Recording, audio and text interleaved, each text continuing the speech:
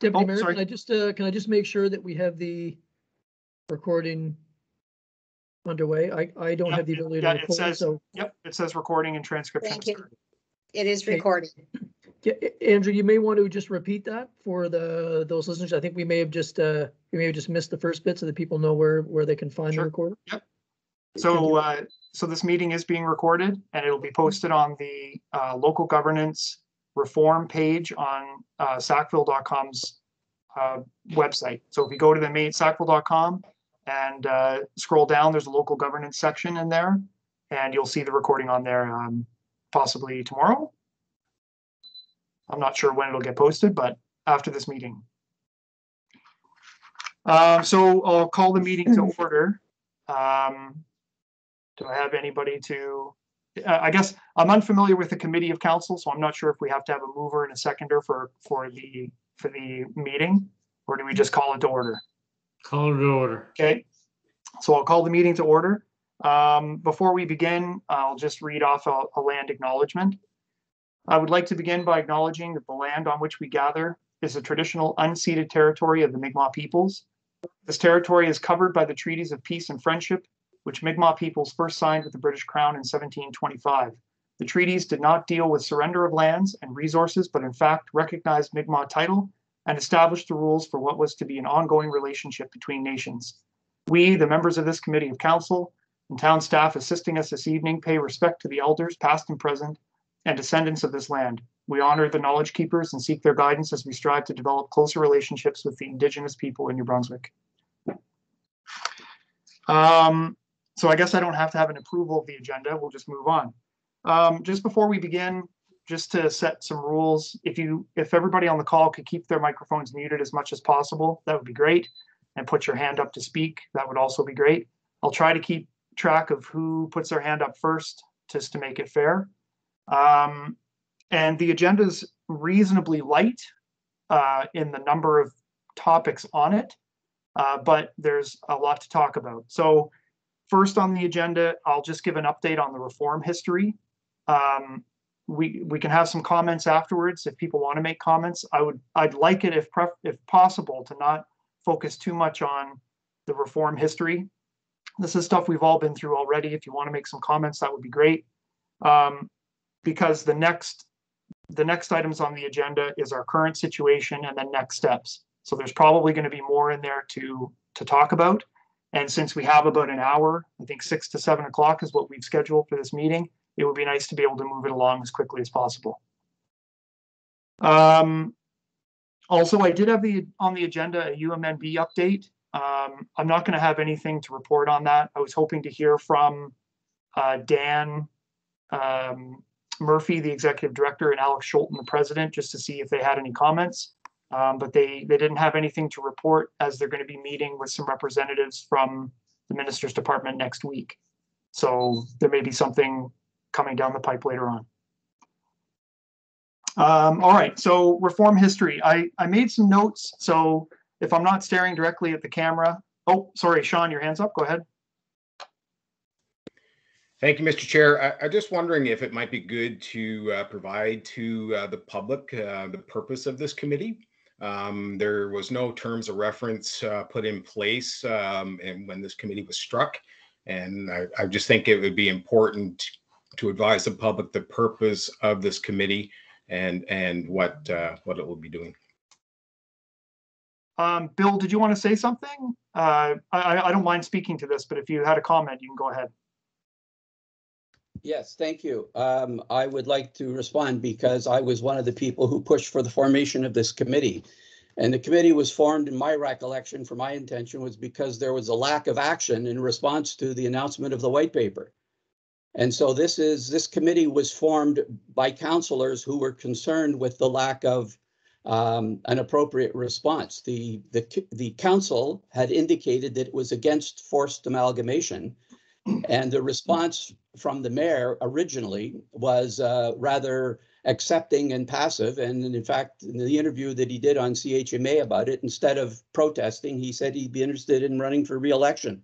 So this committee is, uh, is our opportunity to inform the public about what's being forced on us. It's not a vehicle for the conservatives to push their agenda. They, they can do that through their advisory committees. This is our committee to inform the public about what's being forced on us. That's the history.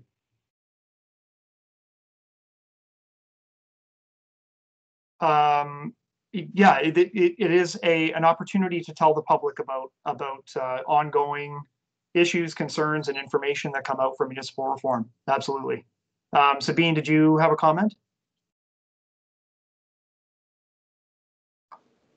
Yeah, and I'm going to be a bit slow. Um, so there were draft terms of reference. I think that's probably when, if we if we maintain this this committee, we have to um, develop them and approve them, um, or ask for council to approve them, bring them forward to council. So there is a draft committee terms of reference that I think I circulated way back when we when we were discussing this. Um, and I'll just read the mandate that was in the is in the draft, but that also formed the reason for the mo- motion to council to provide a venue for information exchange discussions, presentations, gathering information and discussions on the implementation of the white paper through the transition process as long as required, as long as required, provide information, reports, and recommendations to council on municipal reform issues. So obviously the first point is mute since the white paper is what it is and it's been implemented. So that remain that what remains is provide information, reports, and recommendations to council on municipal reform issues. That is still in the uh, in the draft terms of reference. So but it's it's to provide a venue for information exchange. Thank you, Andrew. Thanks for that, Sabine. Thank, thank you very much, Sabine. Um, okay, so, uh, I'm gonna give a, uh, I want to say brief rundown. Um, I did write some notes. Uh, I'll, I talk fairly quickly, uh, so I, I hope I get through to everybody. Um, and I'm gonna be reading from something, so I apologize if I'm not looking at the screen, uh, all the time, but, uh, so the province of New Brunswick started the process to modernize NB's local governance system in November of 2020 after appointing Daniel Allain, the Minister of Local Government and Local Governance Reform, in September of 2020. The Green Paper on Municipal Reform was released in April 2021 and laid the groundwork uh, based on what the minister heard speaking with communities while crisscrossing the province in his early days as a minister. Um, this launched the engagement process by the Department of Local Government and Local Governance Reform. The town issued a letter to the minister with initial thoughts and possible concerns around the green paper.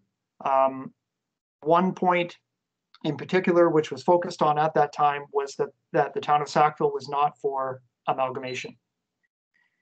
Various engagement sessions happened between April and the release of the white paper in November of 2021, including meetings with municipalities, cities, LSDs, municipal associations, uh, the AMANB, which is the Administrators of New Brunswick, public sessions, and uh, also with other stakeholders.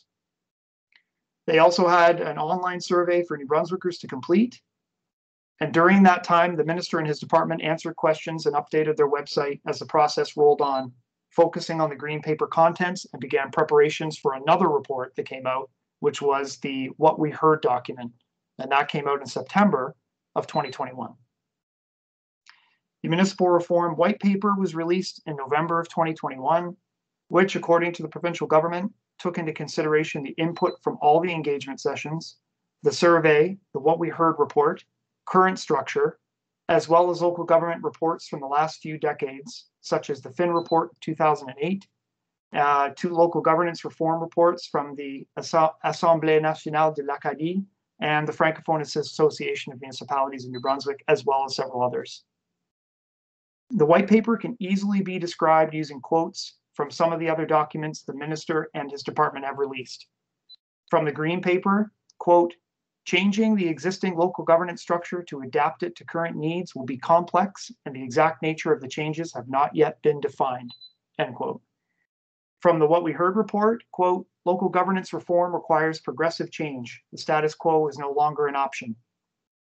And finally, from the white paper itself, quote, although our plan is contained in the pages that follow, there is much work ahead to implement the numerous actions. Most, if not all, communities were shocked and shaken by the white paper, particularly around boundaries and amalgamation and what this meant for various facets of municipal governance and operations. Sackville Town Council and staff met within a week of the release and had a blue sky discussion about initial thoughts on the white paper and what it could, would mean for the town of Sackville. From this meeting, a letter was drafted and sent to the minister's office with concerns around the four pillars of the white paper. Two weeks after that meeting, council and staff had a meeting with the deputy minister and his department to ask questions and voice concerns, as well as a brief exchange with the minister during the UMNB Zone 2 meeting a few days later. Later that month, council and staff met one more time to go over a letter that would be sent to the minister with an ask for an alternative to amalgamation. That request was refused. Bill 82, an act respecting local governance reform, was passed by royal assent in the Legislative Assembly on December 17, 2021. Earlier in the week at our regular council meeting on December 13th, this Municipal Reform Committee of Council was created, and that is what brings us together tonight. So I may have met, left out some minor details, a few meetings in there, um, maybe some Zoom meetings, but I think I've pretty much covered everything. Um, we, of course, there were emails back and forth as well from the from the minister and the minister's department if there was, you know, an engagement session or whatever. But um, I think I've covered pretty much everything in there. Um, so, I, I, if anybody wants to speak about the history of the reform process, um, uh, go ahead. But if if it's all right, I wouldn't mind just sharing just some just quick initial thoughts on the reform history process. Um, for my part, the whole process that has, led us to this point has been a roller coaster. I have had to sit through everything that I laid out tonight concerning council and staff, as well as the reform process through my roles and responsibilities uh, with UMNB. To be brief, I have been, for the most part, frustrated with the whole process and the lack of communication that has disguised itself as fulsome communication. I was disappointed at the public engagement piece, particularly around LSDs and the lack thereof, and disheartened by the consistent answer to questions being the transition team will deal with that. But council and staff have worked hard to get our say in whenever and wherever the opportunity presented itself and tried to do the very best we could for the town we represent. We pushed, we nudged, we kicked and screamed, and even though we were often turned away or turned down, our voices were heard. And just as a quick aside, even if we didn't get the answers we wanted from the minister and his department, we did get answers. So I will at least say that. This reform process is going to continue to roll on with the timelines presented by the government. And as it does, concerns will come up, particulars will be debated. And through all of that, I have great confidence that we will be heard again and again and again we may not get the answers that we want uh, when we voice our opinions, but I, I do have confidence in the fact that we will be heard. So those are my initial thoughts on, on the history of the reform. Um, if anybody else wants to ask some questions or if any councilors um, or the mayor want to say anything about that, then by all means, please raise your hand. Uh, I think I saw Sabine first. Go ahead. Yeah, I think I think Andrew that um, comprises sort of a friendly a friendly recap of what happened. Um, I think um, you know for anybody who wants to go back into council meetings that we've held that are public, I think there were some more stronger words on this, but that's fine. Um, I think we are. I agree with you. We are where we're at, um, but I just would like to add that um, anybody who's in the public should really look at the act itself, Act 82 as well as the white paper because it it it does form what's coming next so so the current situation and whatever andrew is going to start us out on um, and I think the inherent piece that I wanted to share is the is the other um, exasperation with um, a very undemocratic process, um, which we will likely see going on through our transition period. Um, so I agree, Andrew. Um, I think we've been heard, and we will be continue to be heard but that doesn't mean we will be heard or there will be any follow up from it. So I think there's a huge, huge difference between the two. I think I agree with you. I think Fredericton heard us screaming and kicking, um, but um, there was no impact from that. And the same thing when we'll get into the current situation, I think there will be a fallout from that. So um, to me, this is it, it is what it is. Literally, we will have to deal with it. But um, uh, you know, the, the the last two months, I think what Andrew described as a roller coaster is literally what this was. I think for everybody, for everybody involved in any way. Um, and I'd also like to start talking about actually what's currently going on, what our role is or isn't, and where are the little pieces and itty bitty pieces that we can actually influence, and also make it very clear where we have no no influence at all. So, my two cents. Thanks. Uh, thanks, Sabine, and that, and that is coming up. So when we get it to our current situation, we'll, we'll talk about, about some of that stuff as well. Um, Bill, you had your hand up, go ahead. Yeah. Um, I, I think we're all struggling with, uh, what we should do, what we can do, what's the right thing to do. The easy thing to do is to give up, and I'm not prepared to do that. And in fact, I'm troubled because the way I see it, a number of people um, have given up. And I say, yes, it looks bleak, but what's the downside to resisting uh, and and trying to inform people? Because the vast majority of people in Sackville, I don't think, are even aware that this is going on and what the consequences might be. Uh, the pandemic and the hospital threats are much more important and more well known to more people. And I think we have a lot of work to do to galvanize people to this issue because it's going to have huge consequences. Um, I'm really troubled because this is not like a, a, decision like we I want to do this and you want to do that. And so we make a decision and one of us doesn't get what we want and we move on. Absolutely. This is about right and wrong. This wasn't just a decision that we didn't like. This was dishonest. We were lied to by the minister repeatedly. So the whole process was flawed. It was undemocratic. And the ironic thing is the big issue one of the big issues that needs to be addressed is what we might call the democratic deficit the fact that people in unincorporated areas can't vote at the local level.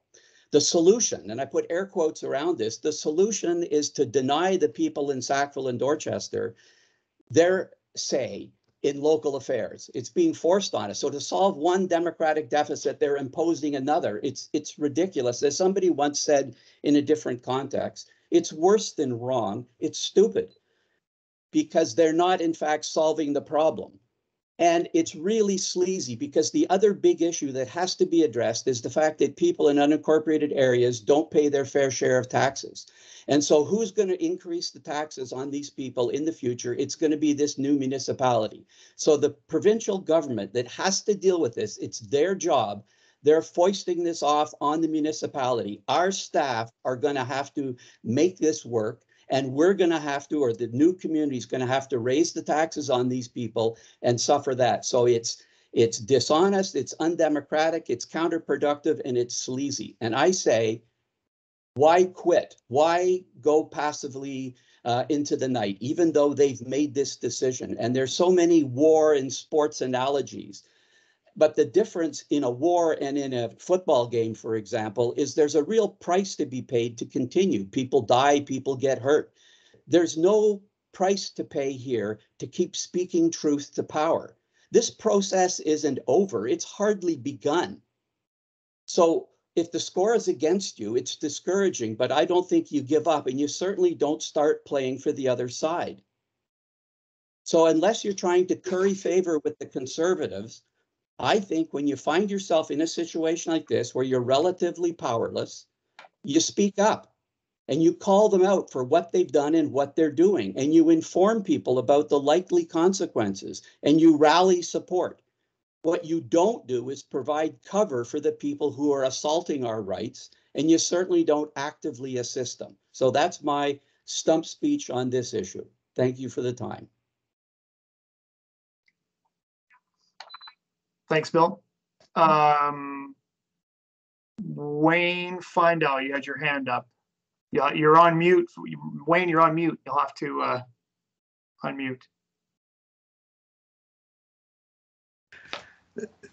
Is that better? It is. this is new to me. I, am from the silent movie era. I'm the old gray mayor of Dorchester. Uh, in a small community, we have uh, the different parties there, the Green, uh, the Conservatives, and, and, the, and the Liberals. But I've been fortunate enough to be involved with this for 35 years. uh, founding father of the Tantramar Planning Commission, blah, blah, blah, and all that stuff. I, but the big thing here is uh, uh, blaming one party over another is not, this goes back a long, long time. Uh, I've been in there when the Liberals tried to sneak the reform in under the John Carver model, you know. We've changed the definitions, we tweaked it. And uh, so uh, the real thing is what positive steps can we do? Uh, I have gifts for you as you go along when you want to ask me things because of all those years. Uh, I fumble along now in my dotage, but uh, but I can help out. But uh, is it Bill that was just talking? He's he's absolutely right. We've got a problem is that all democracy and all politics is local. The communities were formed by the local people. So were our school boards then when I came here. When we couldn't do something for ourselves, we went to the province or the federal government because with their resources, they can do things better than we can do. But that hasn't happened in this province. Uh, if any of you were at the Mount Allison uh, talk up by uh, Donald Bowser, the anti-corruption expert from the United Nations, I was shocked to hear him say that New Brunswick was the most corrupt state or province in uh, North America. Uh, kind of wakes you up when you do that. Uh, you, we will have to come up with some different plans and strategies, and I'm talking about strategies that don't cost the uh, harm or injury. Uh, Dorchester is a tri-community. We have the federal institution there. I don't know if you've been informed by anybody, but we have an issue with the lieu of taxes. Everybody thinks the pen gives us lots of money. It doesn't. It's been a struggle with, for me, meeting with Minister Alfonso, oh, my Italian is not very good, back in the 90s, that said Dorchester Penn should be paying directly for the fire department, for the training, for the equipment, the water, and the police. We are the only community, and you'll be part of that if it goes ahead, that subsidizes the federal government. And it drives me crazy. And the lieu of taxes, the province controls it, and they give it to Moncton. This new community needs that money. And you don't get your real share of the property taxes on this $200 million project. They'll kind of suggest to you that that's going to help. But it's not like the taxes if you were in Sackville or, or Dorchester. So that's one issue that I hope somebody can do some research and dig up. Uh, for me, that goes back to 98 and trying to make a difference. I got a backhanded comment from the uh, the prison when I took over water and sewage again. I'm the only councilor that kept hassling them. So I'll leave it at that. And uh, the things I had to say are gifts, and you could choose what you like or don't like. Uh, I'm a guy that thinks the, the past is is the key to the future, and you fellows are all young people, so I'm not sure. Thanks. Thanks, Wayne. Um, I, I guess, uh, I probably, I should have said something at the beginning of the meeting. This meeting is, is a, a meeting of committee of council, so, uh, Oh. that was, that, that was my mistake to invite Wayne to speak, but I guess, um, if anybody was going to, a longstanding, uh, municipal governor like yourself would probably have some insight. So thank you for that, Wayne. but- I also know what you just said. Sorry. going forward, um, uh, we'll just, if, this is a committee of council, so if any council members, uh, town staff, um, the mayor want to, to say anything, then by all means, put your hands up. But thank you, Wayne, for that. Uh, Sabine, you had your hand up. Did you want to say something? No, I just, I just was going to raise that point I of got get order. away from my chin. Uh, So maybe, maybe on the agenda, um, you know, if there are questions, there could be an opportunity at the end if there's any time, but, but not during, the not during our meeting. Yes, Perfect. apologize for that. I should know better, but I'm a senior. That, that's fair. And Wayne, can you, can you mute your, uh, your mic again if you don't mind? Thanks. Yes, I know where it is now. Okay. Um, okay, one last, uh, call. Did, did anybody want to say anything about the, like, sort of the reform process up to this point? Let's say till the end of December thirty-first. Does anybody have anything that they want to say about that? Or can we move on? No? I don't see any hands. Just give me a sec. We have a long scrolling list here. Okay. Um, all right, so next on the agenda is just an, uh, I'll do an update for me, and this is where we can kind of get into the particulars of where we currently stand with the uh, municipal reform process or local governance reform process. Um, so January 18th, we received word from the deputy minister that we now had a transition facilitator. Uh, for the record, this is what the letter, some of the letter said to describe this position. Um, the transition facilitator's primary purpose is to work alongside new local governments and RSCs in their transition phase.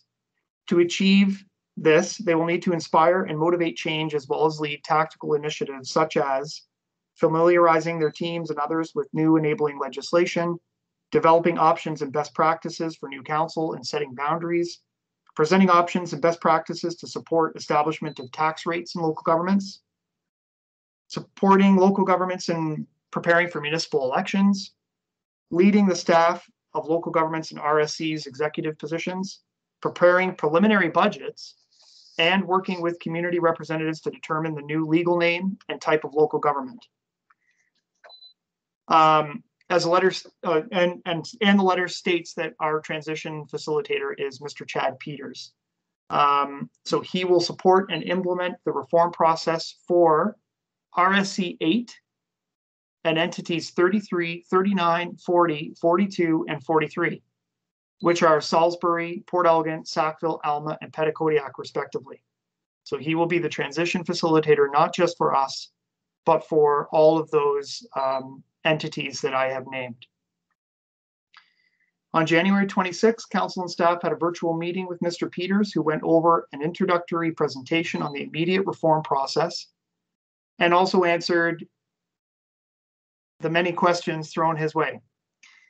After introductions, Mr. Peters got right into it, first reiterating what areas are going to be amalgamated uh, with Sackville. And for the record, just for people who are listening who may not know, uh, that includes Sackville, Dorchester, 40% of Dorchester LSD, Sackville LSD, and Pointe-de-Bute LSD. He then talked about the preliminary transition plan and milestones. Uh, so there's there's a, a fair bit to talk about here. Um, initially, one of the first things that has to be done is the creation of two advisory committees. There will be an elected officials committee, uh, which is comprised which is comprised of two representatives from each of the communities. Now, I guess the communities would be the ones I listed: Sackville, Dorchester, uh, Dorchester LSD, Sackville LSD, and Point Butte. Um, the Sackville representatives are the mayor and deputy mayor. Um, I have not heard at this point who is on from the other um, locations. And I think that they're having a little bit of trouble getting the last members needed on the advisory committee. At the same time, there will also be an administrative committee set up, uh, which will be the transition lead as well as administrators. Now, from what I understand, that's administrators from Sackville and Dorchester. Um, the LSDs don't really have administrators, so um, there may be room for somebody from the province possibly to step into that position to comprise that committee. They will be focused on, oh, sorry, let, let's start over. The elected officials committee will be uh, an advisory committee to the transition lead, Chad Peters. And their primary objectives is to uh, review the outer entity boundary for errors or omissions of the entity 40, determine the name of the municipality and the type of the municipality, and determine the council composition and structure. Those are immediate things that have to be completed uh, from what we've heard by the end of February. Um, some of them actually even earlier than that. Um, the administrative committee will basically be in, in charge of everything else. So um, everything from uh, operation, anything operational that you that that the town currently does, and that the new entity 40 will do, is going to be taken care of by this advisory committee, this administrative advisory committee, and the transition lead. Um, so that's a, a heck of a lot of work for town staff. Uh, as well as doing all of the work that is currently involved with running uh, their respective communities, like Dorchester and Sackville, for example. Um, there, uh, in the near, well, I guess not near future, but halfway through the year, there's going to be a staffing plan. Um, and then towards the end of the year, there will be a call out for CAO and clerk positions within the entities. Um, then uh, closer, I believe, to the end of September, October, there'll be a 2023 budget that will be presented. Uh, and then municipal elections will happen in November of 2022. And then the new entity will be established in January 1st of 2023. Now, that's a lot of, of material. That's there's a lot of steps, and a- and there's a good chunk of that that's later in the year. So things will happen. I'm sure that there's going to be dates that will change um, along the way. The government has been pretty uh, strict on timelines, but really, what we need to focus on is the is the stuff that's happening in February with the advisory committee and the and um, and the formation of council, the name of the town. That's the immediate steps that are that are happening with us right now. Um, sorry, I, I see some hands up. Do you guys want to do you want to talk about this now, and then I can continue on? Yeah. Uh, I can't remember who had their hand up first. I saw Sabine and Bill, and I think Bruce, you might have had your hand up too, but you put it down. Um, Bill, go ahead. Yeah, I just wanted to raise a point uh, about the democratic deficit. Is it during our meeting with Chad Peters, I mentioned the fact that Sackville makes up more than half the population of the new entity, and yet it was going to have the same number of representatives as, you know, even the, the LSDs. And so I suggested that Sackville should have more, and his solution was to give us two and everybody else two. So what we end up with is twenty percent of the representation of this advisory committee, even though we make up more than fifty percent of the population. Just another example of how they don't understand representation by population. It's infuriating. Uh, Sabine, did you want to? Yeah, I just wanted to, so, um, did, because you mentioned the advisory committee, so, um, I think, I think it's just good to reiterate the importance of the administrative committee that will really get all the work done. We have nothing to do with that as councillors, as elected officials. Um, when, you know, Andrew mentioned staffing plan, if it does come to the HR committee at all, it's all behind closed doors. So it's, it's a black box. Um, I just want to make sure that everybody's very clear on that. And the piece on the advisory committee, which is of elected and appointed officials, um, that is sort of while you know while I agree with Bill, it's it's a typical kind of behavior of or a typical non-understanding of democracy or representation. Um, the reality is that um, it's a little bit of misnomer to call it an advisory committee or to say that it will determine, because the reality is the only thing it will ever do is advise. Um, and if and that's why I mentioned Bill 82 earlier, just to be very clear, the the transition lead, what I call the government representative, because this is not a personal thing. This is the government representative has the absolute power. The advisory committee can up, can come up with a weird name for Sackville, for sorry for Entity 40, um, can come up with a really really interesting approach to council composition. Doesn't matter. It literally will not matter.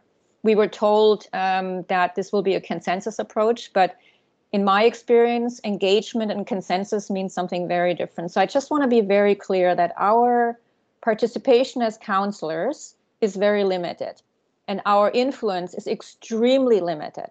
Um, as is um, from what we found out, because apparently we have to determine, or we have to determine in quotation marks, we have to advise on council composition by February 11th, which is um, 10, 10 days. Um, sorry, probably get it. Yeah, something like that. So in 10 days, a major decision how this com- community will be, co- be composed, you know, how many councillors there will be, how many from each area, Um, will it be at large or will it be um, by wards?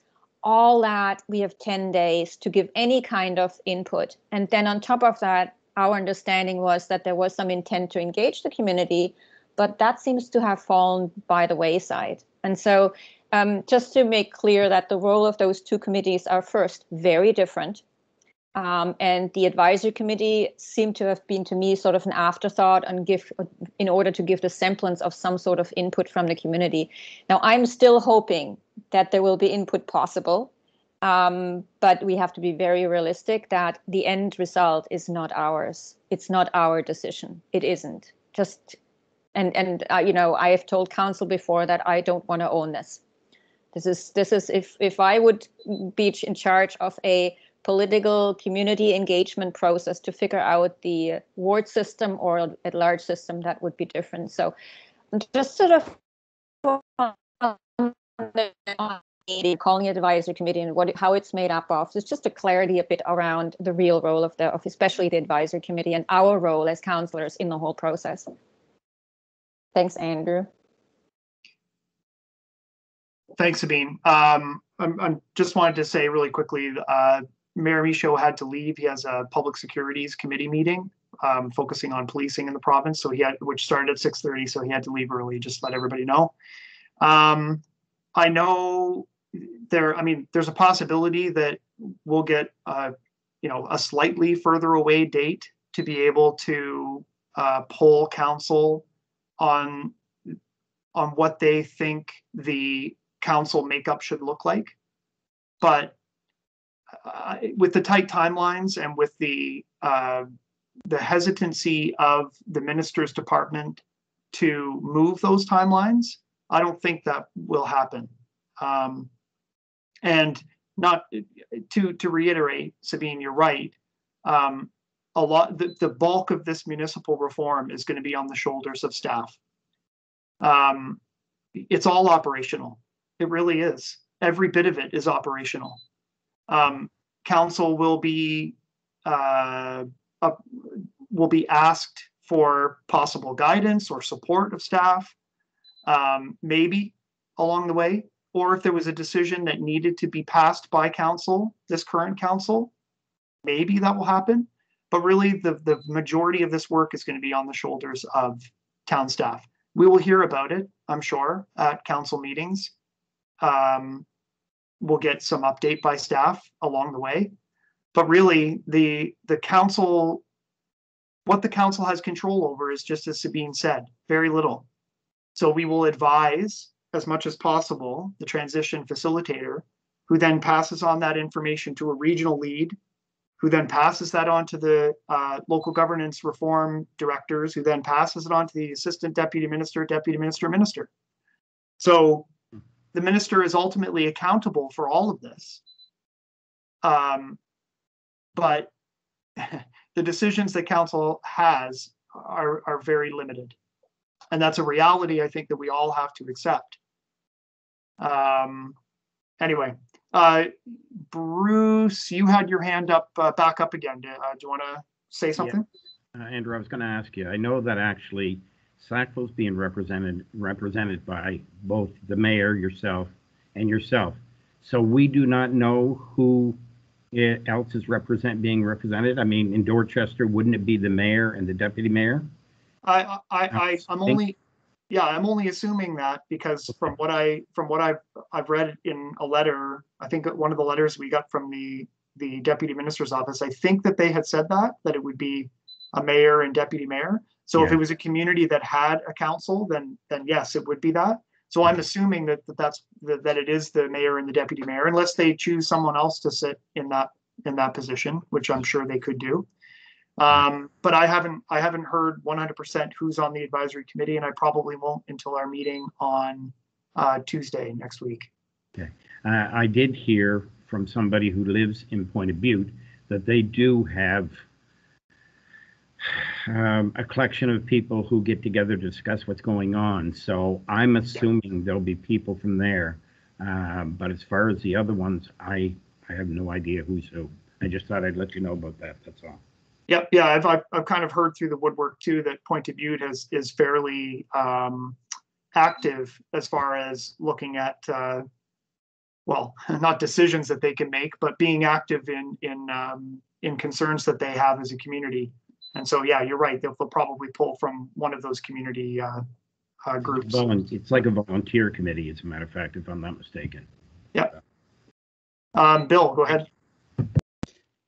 Yes, thanks. I just wanted to follow up on what Sabina said. She's absolutely right. These advisory committees are just window dressing. They're cover for what is being forced on us. Staff are the ones who are going to have to do the work. And so they've been given an impossible task, impossible to do it that's going to please people. And they're going to they're going to wear this. Like we, they don't own it but they're being told do it. They're professionals. They're going to do as good a job as they can. But if you ask someone to do the impossible they can't succeed. So it's going to be less than perfect and people the government will you know provincial government will point to them and say they did it. I have become convinced. My first impression of the minister he's a get her done kind of guy. He wants to be able to say that he did local governance reform and i don't think it matters to him that it's done well. So he's going to say it's done and if we're all worse off, you know, the people in the LSDs are unhappy because they're paying more taxes. People in Sackville are getting, you know, paying higher taxes, getting fewer services because we have to spread ourselves more thinly. It doesn't matter. He'll be able to, he got it done, and the blame will be on the new municipality. It's sleazy, but we're window dressing. And if you give them cover, you're aiding and abetting.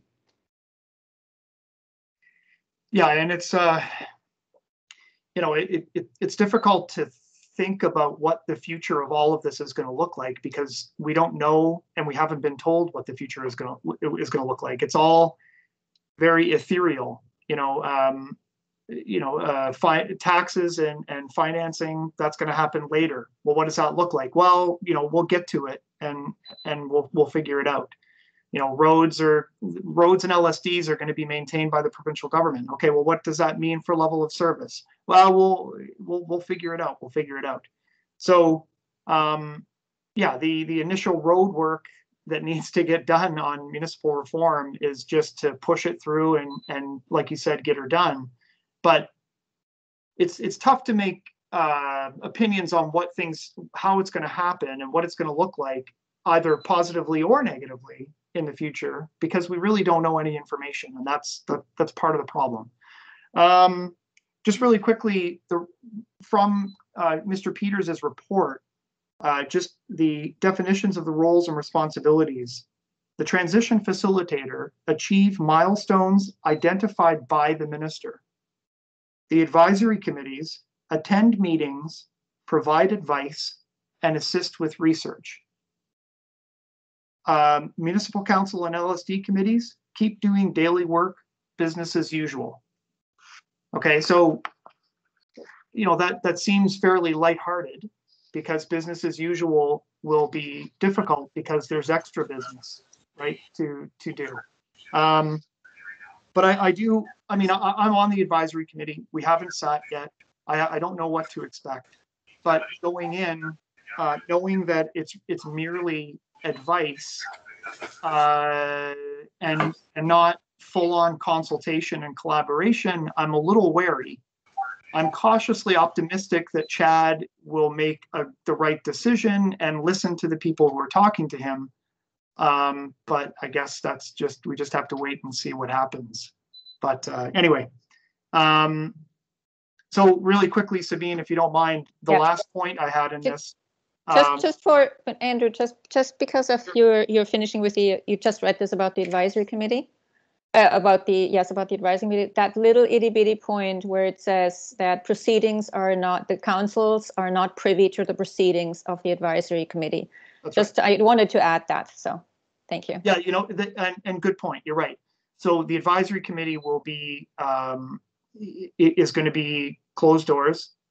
Um, and then the advisory committee can, uh, inform council about some stuff, I guess, that's talked about in the advisory committee. That, that, that as well is really unknown. So what information can be covered in the, invi- in- the advisory committee with council? I don't know you know, are, are we going to be uh, silenced? I, I'm not. I'm not sure. I, I really don't know what what this is. But Chad said that the advisory committee would report back to council uh, with things that were discussed.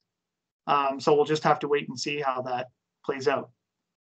Um, and there was also, it was, it was kind of a two-way street, as I remember, that, that council would, would have an opportunity to ad- advise the people who were on the advisory committee. Our issue was that the timeline was too tight for us to be able, for council to be able to advise the uh, advisory committee members. Um, but anyway, we'll, we'll see how that plays out. Um, the last thing I was going to say is that there was a brief exchange about communication. And after some back and forth, Mr. Peters made it clear that communication to the residents of Sackville would be up to council and staff to deliver. Um, now, that's what I remember him him saying. We kind of went back and forth on this. What information can we give? Um, when can we give it? And I, I think Chad initially was a little, sorry, Mr. Peters, I should call him, was a little um, unclear on that. But at the end of it, he felt it best to leave the communications of uh, Sackville News to the channels that we currently operate by. Um, so, I mean, here we are in our municipal reform committee of council telling people what we have learned about municipal reform at this point. And town staff have now created the uh, local governance reform webpage on the town of Sackville with updated information that they can give. Um, I mean, there's going to be stuff that they're not privy to, obviously, but um, anyway, so we do have some communication channels open, and hopefully we can continue that as much as possible. Um, anyway, that that's all I had for the meeting with Chad Peters and information that we've heard up to this point. Um, more recently, we got an email pushing those time limits for composition of council, name of the municipality, or sorry, name of the entity. Um, and I'm missing something else. Oh, and if there was a, sorry, Bill, go ahead. The nature of the entity, whether Oh, it's a town or a, Yeah. Right, right. So we, we, we've had a, an email pushing those dates fairly hard from, you know, down the workflow, right? From the minister to the deputy minister, da, da, da, da, onto the facilitator to us. Um, so that's, anyway, that's just a piece of news that, that those dates are pretty tight. So February eleventh is what Sabine had said. That was what was in the, uh, um, paper that we received from the deputy minister and the transition team lead. Um, so that's, that's all I had with our, our current situation. So if there's any, anything that anybody wants to say about, uh, where we are or talk about the reform process up to this point, uh, council or staff, um, go ahead, Sabine. Um, just on the communications piece, I think um, uh, this is it's still a bit vague, but we can expect that only we will only hear those communications that are allowed to go out, both from the advisory committee as well as from administration. So I do not expect um, really that there will be much uh, coming out unless you know it's okay. So the decision has been made to do A, B, C, or this is what it will look like, and this is what will happen. So it, it's just it, it will it will look. It, my, my feeling is, and I'm pretty sure this is the case because otherwise you would you wouldn't set up a process like this with that kind of time frame. It is going to be. Um, um, a fait accompli once we hear it and that's what we communicate out. And so and this is this is this is where where i think um, you know i i really did not want to own this as a process and that's why so we were thrown we were told well if you want to engage with your community go ahead. Um, it's not up to us to engage around a process that's owned entirely by the province that's my feeling um, and since the province will be responsible for what gets communicated out um, it's sort of um, again to me a whitewashing. And yet we do you know we need to communicate outwards as a community um, as council and as um, as as the town. We need to communicate out and it will be an excruciating process trying to get um, the information out in a timely manner before things are finalized. I suspect it will be impossible to do that um, nevertheless i'm glad we do have the town site and the stuff is coming out timely the things that can be published which is really great at least that at least that Yes, so yeah, absolutely. Um, Bill? Yeah, I want to echo that is that we, this is not our deliberations that we're, we've decided that we need to keep confidential. Anything that I know about this process, I'm going to share with the constituents. We're, this is not our process. We're not deciding about, you know, what, what meets the criteria under the act for in camera. We are in the dark too, and we're, we don't own this. And I'm going to make that clear. You know, it, it- historically, every time an occupying force took over um, a country or an area, they would always try to get the local people to enforce the rules, right? So that they would own them and it would seem like there was a democratic government. But if you're in a position like Putin's Russia is ostensibly democratic, but don't try to be in opposition there. Um, this is this is standard practice, and I think it's really important where the, the risk to ourselves of doing the right thing and, and being part of the resistance rather than being a collaborator. I think it's incumbent on us to be part of the resistance because it's so easy. Nobody's threatening to kill us. The consequences of not toeing the line and justifying or uh, what would you call it, being complicit in what is undemocratic, unfair, dishonest, whatever you want to call it, I think is really important. If this is forced on us, it's forced on us, but it's not going to be our doing. And we're not, I mean, speaking for myself, I am not going to welcome it or be complicit in it. Um, thanks, Bill. Um, did anybody, anyone else want to say anything? I, I, I've, I've got a couple of points that I, that I wanted to raise, just personally, my feelings on the reform process going forward. But if anybody wanted to speak, I, I've done a lot of talking. Uh, my voice is getting raspier as I go, but, um, if anyone else wants to, had anything to say, Mike, go ahead. Uh, uh, Thank you, Andrew. I'm, I'm curious, have you been told that when you have your advisory committee meetings, you will not pass on information uh, or certain information to council? Or what you receive can be shared with council after your meeting? I I had, we haven't been told anything, Mike.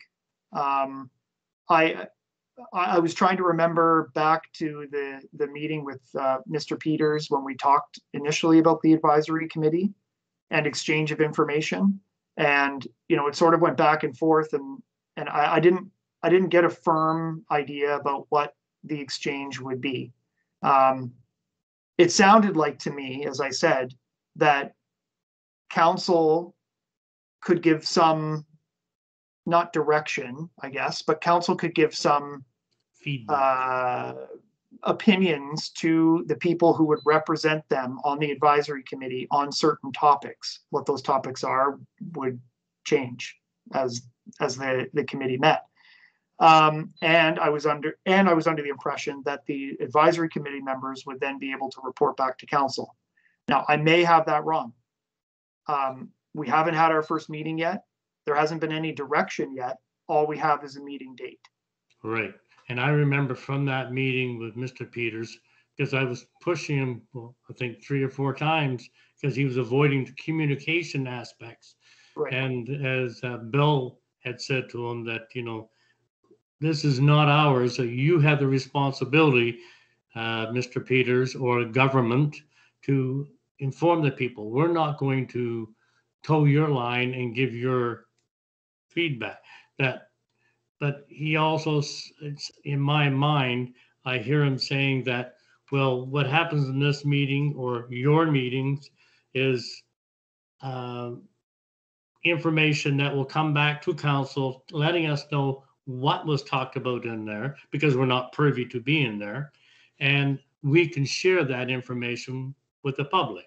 And, and which should be automatically because there's no in-camera session going on. Uh, so there's, should be any holdbacks on it.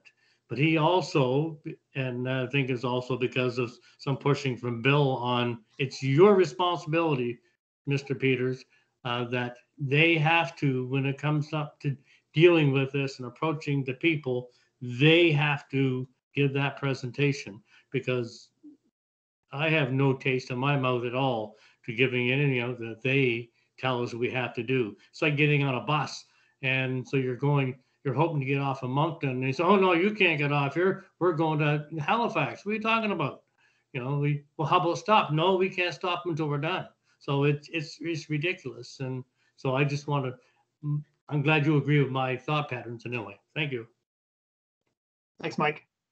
Bill? So, uh, Just a, Yeah, just I a just wanted quick Can I just, uh, because I've got the email open from, that actually talks about the openness of the advisory committee. So the advisory committee is to report back to their respective council and LSD to solicit feedback to be shared with the advisory committee. The proceedings of the advisory committee, which means what they're talking about actually, will not be open to the public or to other members of council. Just to, That's Sure. correct. The point We're I want to not in raise. that Meeting. I Yeah, understand but that. the point I want to, Andrew, uh, Mr. Peters is not Andrew's boss. If he invites Andrew and Shawn to a meeting and says stuff and says, I don't want you to tell this, they don't have to say yes. If you don't tell me, whatever you tell me, I'm going to tell the members of council and the public. And if you don't like that, then don't tell me. He's not their boss. This, this is being imposed on us. And I think it's really important. I want everyone to know as much as possible of what's going on. This is not the deliberations of council in camera for legitimate reasons. This is the government doing something which I'm sure I understand why they don't want people to know what they're doing because it's undemocratic. But, you know, Andrew, I hope, will participate in the meeting. And if he's told, don't tell people this, he say, too bad, I'm going to. What's he going to do? Right? Andrew has a job to do, so does Shawn, and it's to be, you know, represent the town's interest on this th- and do whatever they can. I mean, it's little enough as it is. If they try to further emasculate it, I think it's completely inappropriate. But we can say no. He's not the boss. He can force stuff on us, but he's not our boss. Yep, I agree with you. Uh, and I, I mean, I, I, guess we'll find out more information when we get into the advisory committee meeting. Because I- like, like I said, as- aside from the email that Sabine read, um, we, we don't really know Yeah. much. We don't, we don't know what, what's gonna, what's gonna happen with the advisory committee. Um, And he doesn't So- either. so You know, we, we have, it's six fifty-seven. I'm not sure if this, if this meeting will stop right at seven o'clock. Um, but I, I just wanted to say really quickly, I'm, I had some, a couple other points, just personal points on the reform process going forward, but I'm not gonna read all of the stuff that I had, but I guess I'll just summarize in saying the reform process up to this point, during the reform process up to this point, and including the last month, I think it's pretty clear that, um, and we've said it tonight, that the government is going to do this the way they want to do it. Um, Bill 82 was passed the way that it was and had the, um, the ability for the minister and his department to do what they want. Um, council doesn't really have a lot of clout when it comes to the overall reform process. I think that that's pretty clear. Um, so I guess knowing that, I think it is important, like I said in my initial thoughts on the on the reform history piece, to continue to be vocal about what it is that we have problems with. Now, whether that will actually mean that changes will happen, because I, I get the feeling, based on history, that there is a, a certain way that the government and the minister's department want the reform process to go. And they don't want to veer from that. Right. The letter for our the of the suggestion for us to change our boundaries was denied um, because it would change things and they don't want that to change. So um, I think it's pretty pretty important to work through the process because that's what we have to do but also to make sure that we are vocal and uh, about the concerns of of Sackville and the and the people that elected us. Um, making sure that we push the for the things that are problematic that we see as problematic. Um, talk to staff. You know, make sure that that that staff, uh, if they have any concerns, that you know they're voicing those as well, which I'm sure that they will as much as they can. Um, and and work through the process. It's unfortunate it uh, that it that it's come out this way that the reform process has has uh, has got to this point. Um, but the as Bill said at the beginning, the minister and his department want this to happen. Um, reform is needed at some point. in this province. And, and if this is the way it's gonna, that it's gonna happen, then we need to be uh, as vocal as possible and to be uh, involved. So anyway, that, that's my, my closing points. Um, we might have a couple of minutes if anybody wanted to say something really quickly. Sabine, Yeah, I think, I think the So- next steps are the ones that I wanted to, that I wanted to touch on. One is, um, you know, us moving forward with the terms of reference, because we need to, you know, that would need to be council approved. Sure, Um, also identifying where we can advise and how we can advise. Like, you know, what do we do between now and February the 11th? Um, how how do we get the pulse of the community if we want to? Um, uh, do we even want to? Because we know that the end result will be the same. Doesn't really matter. And then, um, if we as a as a council want to do any community engagement at all for whatever purpose, the only one that I can see right now is literally the name um, because obviously government's not doing it. So I think these are these are things that I think we should touch on, so we get an idea on on what council weeks, two and a half weeks or so. Um, so those are sort of pieces that I'd like to get a sense on. I'd like to get a sense on is this is are we going to continue with this committee? Which to me is a you know currently it's a it's sort of set up as a weekly one. That was the initial intent.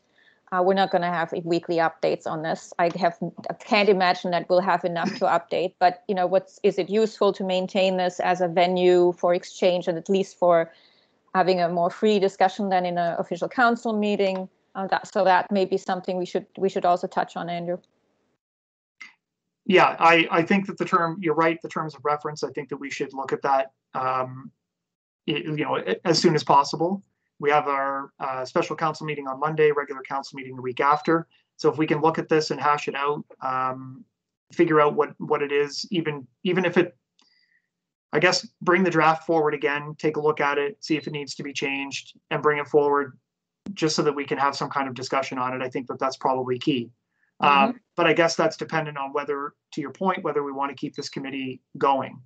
Um, I, I, I think you're right that I don't know if we need a weekly meeting, but I think that this one we pulled together. We talked about it last week, I think it was, and we, and we pulled this together with the help of staff. So I think maybe we could have this, uh, we don't need 48 hour advance notice for a committee of council meeting. So if we can, uh, if we can do this as we, as needed, um, maybe that would be the way to go. I don't know how to write that into the terms of reference though, but that's something. that Yeah, I can, I can draft something, Andrew, where, where we can say, you know, if, if there is a need felt by, um, you know, for councillors to have a meeting, then it can be called. Um, something that's, that's acceptable to everybody. I can redraft and circulate with whatever we're talking about now. And as for engaging, uh, engaging Sackville residents about, um, council, like council composition or name, um, I'm not exactly sure how to do that. I mean, Shawn and I have our advisory meeting on Tuesday. Um, at six o'clock at night. Uh, so we need something that's gonna be fairly quick and, and, and out there. I don't know if we could, we could do a poll and, and put it on, like some kind of a poll uh, or survey or something and put it on Sackville's uh, community channels, um, the town of Sackville page, social media. I, I really don't know how to, how to do this so But- but this is and on the fly. But I think this is the problem, right, Andrew? I, I remember when it first came up, you know, this is a complicated thing. How do we want to go forward? Um, is it is it at large in Sackville and uh, uh, you know award system outside? So it's a really complicated thing. You so you're doing a poll and people will you know rightfully ask, what are you talking about?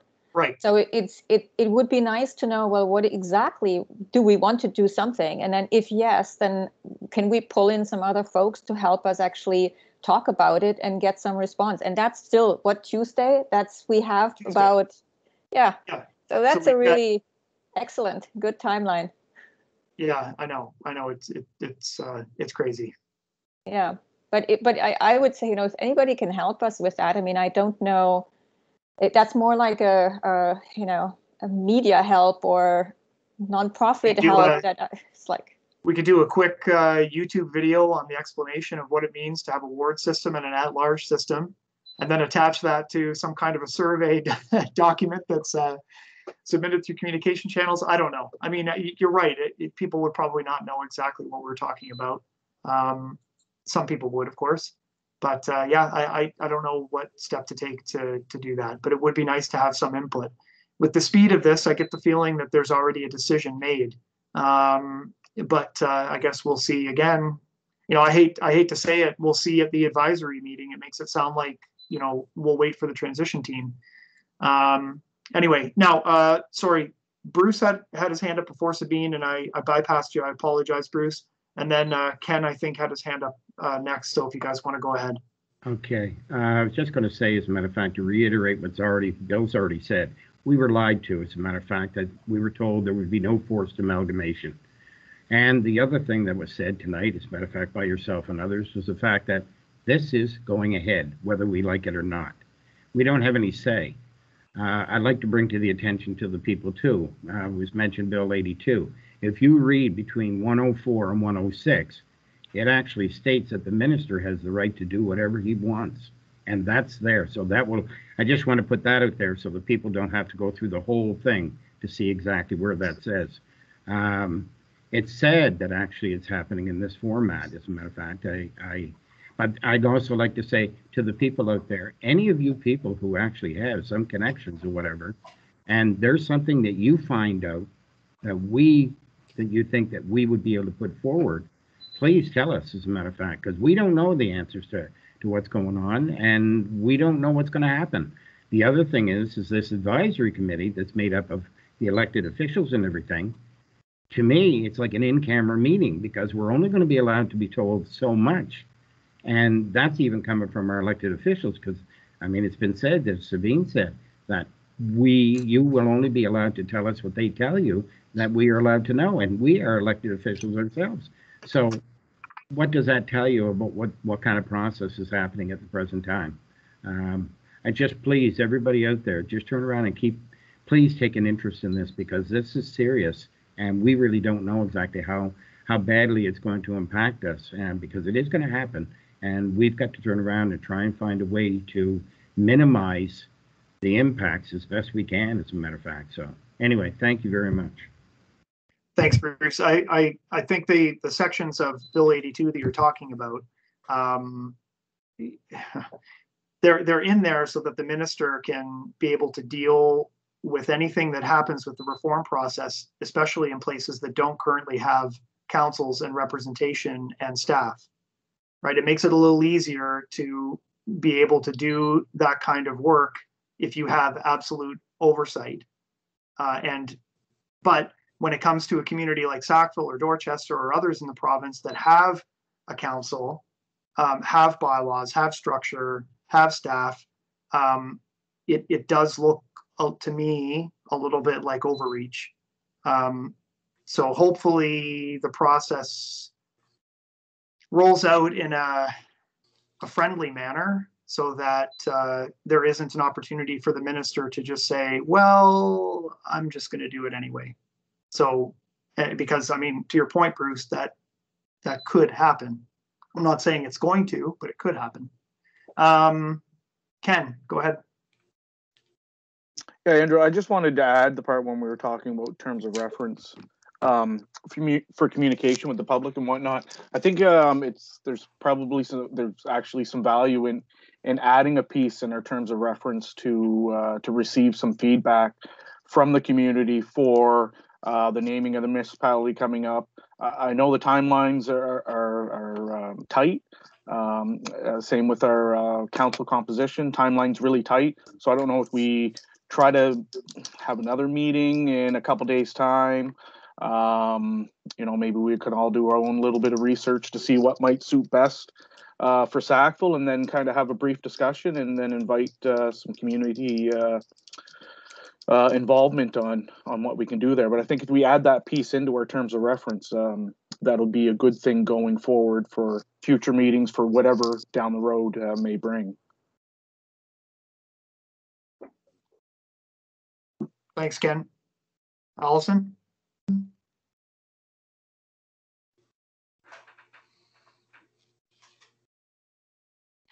sorry, one would think I would have been ready for that, right? Um, I'm an optimist. I'm big on communication and I think it's really important that we keep communicating with the public. And I really, really believe in community consultation.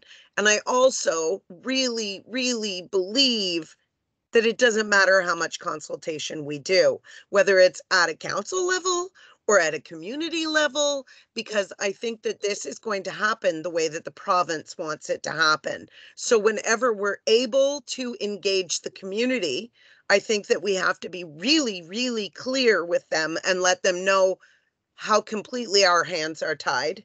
And I truly believe that most of this consultation that they're suggesting we should do is one, so that we own it rather than them when we don't. And two, so that when people think they have a consensus and it's going to be the way it will be, and then it isn't, we will be the ones who will re- be responsible for it rather than I really feel the facilitator should be looking after all of this consultation. Not because I don't think it's important, but because of peop as people have said tonight, we don't own this, even though we would like to own it and look after it and try to guide it and put it where it needs to be in order for the best interests of Sackville and the other communities surrounding us. We don't own it. So if we're going to do any community consultation, I think the number one thing we say has to be that. You know, guys, here we are. We'd love to consult. We're not sure it makes a difference. And and I hate being this negative. I hate that I'm there. Thanks. Uh, Bill and maybe something quick from Sabine. We should probably wrap this up, guys. It's uh, 12 minutes Yeah. after now.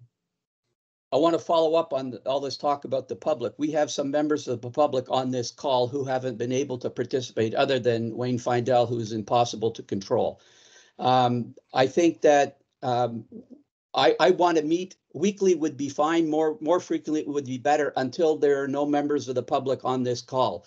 You know what I mean? Is that they haven't had a chance to participate, and that was part of it when we had this in mind. It would, we would say what we know, and they would hear from members of the public. We might get ideas, we might just get people complaining, but it could be a, a conversation. This is the first public meeting, and it's great. Thank you for doing this, Andrew. I thought you did a reasonably good job, and that's high praise. But I, I want, I want the public to participate, so I, I would like to meet again as soon as possible.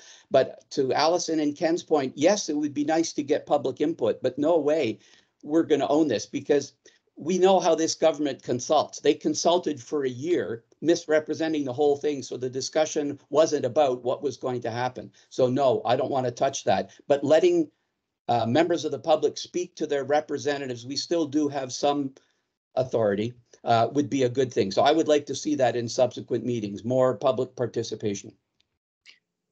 And if we, if we had had more time, considering this was the first meeting, and I will apologize, I mean, we, we're already going over uh, the time limit. Um, you know, staff are involved in this call as well. Um, you know, they work their full days and now they're, you know, on this call in the evening. So, you know, I, I, it would be nice to have people be able to ask questions, honestly. And you're right, Bill, I think that that's a, a, a key piece, but now that we've sort of laid some groundwork, done the, the history, that, like, this kind of stuff wouldn't have to happen each meeting there'd be a greater opportunity for people to be able to get be involved in the conversation and talk about things, ask questions, concerns. Maybe we won't have the answers, maybe we will, but uh, I, I think that that I think you're right. It would be nice to be able to have that uh, that piece. Um, Sabine and oh, Mike has his hand up too. Sabine, go ahead, quick. Okay, so maybe I'll just follow up um, what what Bill said and what Ken said as well. That our next step is really to have to have another meeting and basically whoever wants to talk about the award or at large system to get that out. And then instead of um, asking council to send in a, an, a, a recommendation, let that be the conversation that we that Andrew can take to the to the to the advisory committee since we we have no influence on that anyway. Um, but I think it would be fair because I, you know, I, I as as councilor, if it would come to council on Monday to make a decision on which system to bring forward to the advisory council, I would vote, vote against it out of principle. I, I would abstain or vote against it, whichever one it is, automatically, just because of that that total lack of input from anybody else. So maybe what we can do, at least that we can do. So Andrew, you can actually say this is what you heard. Because currently you have only heard some of us and that Mm. would give people people that are actually you know that want to participate in the conversation from the public an opportunity just to throw this at you. Like there's a couple examples that that came in on the chat there that i somehow i only see fly by but i think it would be really um, and this is a tight timeline. I i don't i don't need any more meetings in the evening. Staff certainly i i know don't but i think this is a one this is a one that's really immediate and the next one is for the naming right so you know the that, those are the two pieces that really there is any chance that that can be said. So maybe maybe that needs to happen uh, as a next step. Um, yeah, we can, I, I, I'm not sure if we can pick a date tonight, but I think that we could, considering how quickly we got this, um, meeting together, I think we can do something over the next couple of days and, and get people together. That's not a bad point. Um, just so everybody knows, the note that was in chat, um, somebody had suggested to start with a pros versus cons list of wards and at large. Um, you know, that, that would be reasonably easy to put together and, and put out and, uh, you know, put it out to even just social media, for example, or the town's, town's, uh, channels. It's better than doing nothing. Um, and maybe we'll get some traction from it. Uh, at the very least, explain what those are and see if people comment or have any, any, uh, anything to say about it. So that, that's what was, was posted in, uh, in chat, just so everybody knows. Um, Mike? Okay, I'll keep this as short as possible. Sure. Um, Um, I, I agree, we should have at at least one meeting a week and more often if really needed. Uh, number two, when it comes to the power of the minister, I think that that minister was given power to control communities like ours who uh, believe in democracy and can put up a good argument why we should or should not do certain things. And three, I think uh, you, we mentioned social media. Uh, we have, uh, Sharon Hicks has, uh, uh, a page. Um, Marlene from Dorchester has one. Josh has his. Uh, we have Bruce Warwick and we have Erica who can all have messages out there to get people involved and pass this information on. So I think we should take full advantage of those also. Thank you. Yeah, we, it would be good to get some idea, some sense from the public, um, what they would like, at the very least, the composition of council. I think that that would be, you know, what's the preference? Um, ward system or at large representation. Yeah, Um, I think that would would be good think- to, to do, for sure. I would think it'd be hybrid, uh, knowing how Yeah, the, the most recent memo, the most recent memo, the most recent memo says, uh, identify and finalize boundaries by February fourth. Second, Wow. uh, and then determine the, uh, wards or at large by, yeah, like we said, February eleventh. So we have our advisory meeting on Tuesday. Um, I wish I had my calendar up, but anyway, so we, Well, we only got there- nine days before that happens, so. Yeah. There, there is a map out there right now of entity forty as it's uh, proposed, is there not? Yes, there is. Yeah, Yes, there is. Now, we have a the- link on our site. the, what they said about that really quickly before we go is the, the, the main boundary has already been decided. And then there was a new map that came out, um, which I guess, uh, finalized those boundaries, not finalize them, but they're, they're more solid than they were the previous, um, boundary lines by the government. But what they're looking for is if there was any minor details that may have been missed. So, uh, you know, the boundary line may cut through somebody's yard and half of their yard could be an entity 40 and half of it could be an entity, know, whatever, 39, or it could be in Beaubassin uh, Est for what, you know, th- those little finer details. It has happened in the past that has caused legal problems within the province when there's been amalgamation or boundary changes. So I think that they're trying to avoid that and they're, and they're putting that um, on the transition team. Again, that, I don't know that, but that's sort of what, I- what I've heard. So, um, but by the fourth, so we have two days to accomplish that. Um, anyway, so I guess, I guess that's it for tonight, guys. We're at a, an hour and 25 minutes into this. It was supposed to be an hour. Um, my apologies to staff, but thank you for staying on with us and thank you for recording it. Um, thanks for everybody who attended as well. I apologize that people weren't able to, uh, to ask questions or be involved in the conversation, but as we said here tonight, if we have another meeting, um, soon, that, uh, that we can have some, um, uh, public engagement within this committee. Excellent. All right. Well, thanks, everyone. Uh, have fun sleeping on all the information. Thanks, Andrew. Thanks, Andrew. Good night, everyone. Good night, guys. Good night. Thanks, Andrew. Thanks, folks. Good night, Mr. Findell. Thank you. I miss the old days already.